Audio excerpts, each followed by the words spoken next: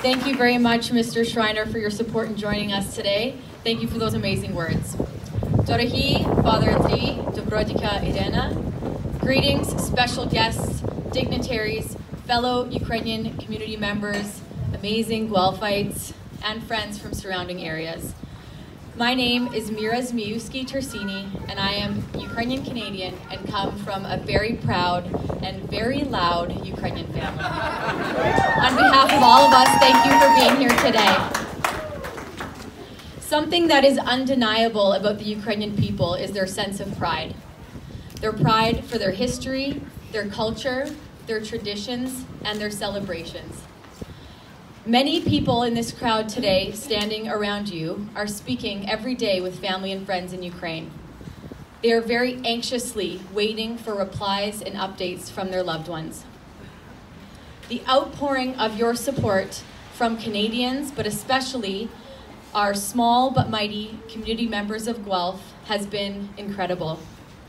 Every supportive action, small or big, is so appreciated and makes a direct impact on those people standing around you today, but most especially the people in Ukraine.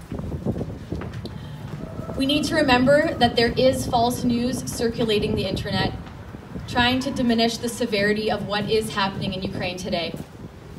However, what we are seeing on the news and hearing from our family and friends in Ukraine is truly horrific. We must continue to unite in solidarity as a community, as a province, and as a country for the people of Ukraine. So this, with this in mind, you will hear a lot of this phrase happening in Ukrainian, which means glory to Ukraine, glory to our heroes. I'm a teacher, and so I'm about to take a moment to teach all of us how to say those things in Ukrainian. So I will say it, and then I'll point to the crowd for you to repeat after me, please.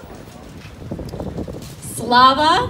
Слава! Україні! Україні! Героям! Героям! Слава! Слава! All together, Слава Україні! Героям слава! Слава Україні! Героям слава! Слава Україні! Героям слава! Thank you very much. Thank you. We'll keep that going after, so keep that in your minds.